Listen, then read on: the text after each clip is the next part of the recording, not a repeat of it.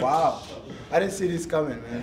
Thank Uh, you guys. Lalas is so well loved by everybody here, and uh, we're just really happy to be a part of the celebration. So we got this kit for you. Wow. It says U.S. citizen on. Thank you.